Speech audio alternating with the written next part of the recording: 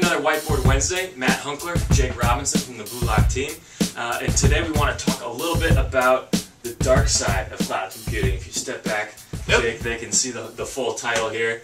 Um, we, we want to talk a little bit about, uh, I guess, some of the downsides of, of cloud computing, uh, maybe some of the malicious, uh, darker intents of, Okay. of how you can leverage the cloud. But before we do that, uh, I just want to mention we had some great uh, engagement on our last post on the EC2 versus the vCloud kind of comparison that we did. Uh, getting great responses there. Keep them coming. Uh, we plan to maybe do a video post uh, later on, and we can uh, maybe address some of those comments in, in a video post. But um, looking at this dark side of cloud computing this week, uh, we want to talk uh, a little bit about you know maybe some of the, the darker intents and some um, maybe ways to alleviate those. And then Okay. kind of maybe within the darker intents, you know, you kind of described to me just before uh, we did this, we, did a little prep. Uh, you talked that you know there are kind of two buckets. Uh, you talk about uh, kind of the vulnerabilities of the cloud and people uh, hacking into that, and then also the other bucket being using cloud computing for malicious intent, leveraging that technology to either hack a machine or spam somebody, uh, other malicious activities. So if, if you want to just walk through that really quickly, and I can I can whiteboard some things out, and then Sure. we'll leave it open to questions. So we've seen, like Matt said, two different kind of kind of buckets. The first one is, uh, you know, I'm running in the cloud, and I I've left a vulnerability on one of my machines, and that vulnerability is exploited, and then somebody uses my machines for malicious intent or, you know, attacks me directly. So that's that's kind of the first bucket. Okay.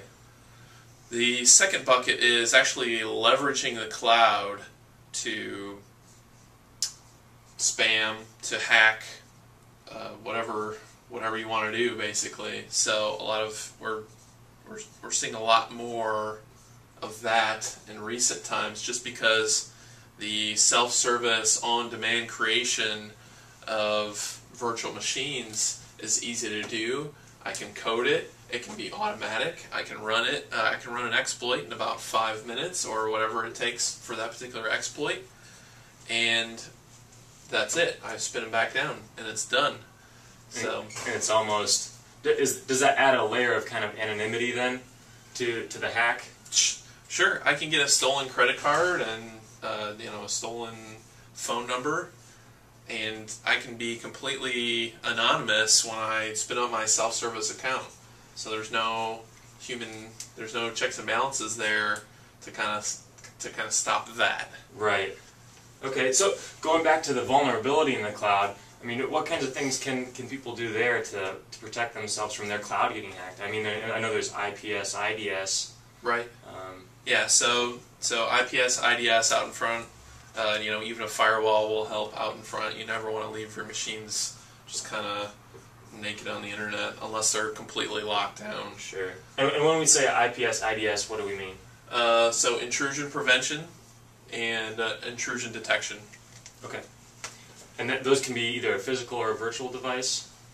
Is that right? Right. So when we're talking about cloud, typically we want virtual devices because because of their portability and Right. Um, but you know, vul- vulnerability in the cloud, patching. So patch your machines, keep stuff, keep stuff up to date. Uh, we use we use Shavlik for our patching. Okay. Uh, so leveraging the cloud Yeah. for for hacking. Yeah. Um, that's a that's kind of a different thing. So that's completely outbound. Somebody is initiating these attacks Right. from their own boxes, um, which in that case would be an acceptable use policy stopping them. Okay. so an acceptable use policy or AUP is just an administrative control. Basically, it it's with the provider. It says you're not allowed to do this particular activity right. in which we've seen people do it anyway. Anyway, so uh, you know, people sending uh, spam email Sure. out. So you spin up a bunch of SM, SMTP boxes, and you know just shoot out mail to a bunch of addresses in your library, and which causes issues not only for uh, the provider, but also other clients on that provider. So we've seen entire blocks out on the internet be, you know, spam blocked just because of this rampant use of the technology to send spam. So that can be a problem for cloud providers that have multiple clients in a certain block of IPs, Mm-hmm. right? Right. Okay. So typically the, the Spamhaus type people will block just a slash 24, which is, you know, 254 addresses. Right. So that's, you know, it's it's one thing when one client is affected, but when multiple clients are affected in the cloud, you know, that's a that's a big deal for cloud computing. Yeah. Um, so in the future, what do I see? Uh, you know, probably stricter monitoring on the traffic going out of of the cloud providers. So cloud providers I see will will actually be maybe putting not necessarily an IPS that will prevent you from going outbound, but maybe an IDS just to just to keep an eye out for spam type stuff like that. Detect these things. Preemptive. Yep. Okay. Cool.